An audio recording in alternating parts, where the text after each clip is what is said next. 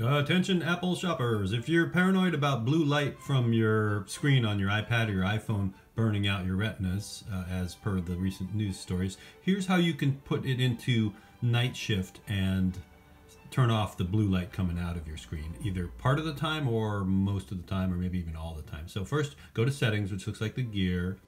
I've blocked out my name with this piece of paper so you can't come to my house and kill me.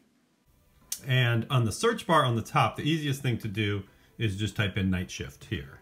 In a G H T S H A F T search and then it'll bring up night shift.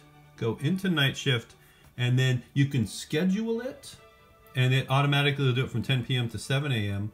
Or if you want to do it manually, you can click here and put it onto custom schedule. And then if you want to turn off blue all the time so that you're not blind when you're 65, uh, you can say turn it on at 4 a.m. and turn it off at 3.59 a.m. So that way everything but one minute of the day it's turned off and then go back and then depending on how how yellow or, or white you want it to look you can change it to be more warm or less warm but it'll block the blue rays and then You'll live longer and you'll be able to see stuff. Well, maybe you won't live longer, but at least you'll be able to see stuff. So that's how you turn off the blue on an iOS device.